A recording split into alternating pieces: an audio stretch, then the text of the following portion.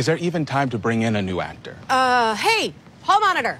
Hey, uh, if we wanted to replace another actor, could we? We wouldn't make our day. Also, we only got a couple hours left with the kids. Okay, great. I only asked you one question. I just needed that one answer. But thank you for giving me a lesson on time management skills. You're a real, real peach. Thank you so much. God, that guy is a great, great I'll talk to the director. Okay, okay, okay. Maybe there's someone here who's not white who could sub in. Or maybe even one of us.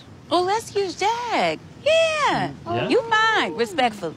Thank you. But no, I'm not really. I was an athlete. I'm not really an Relax, actor. Denzel. You just have to step out of a car and wave. Ooh. You know, man say he got a dream. Woman say eat your eggs, Walter Lee. Raisin in the sun. See, I, I, I did a lot of theater growing up, and I've been considering uh, going back to doing it again. I, I would love to hear all about that. Jack, are you in?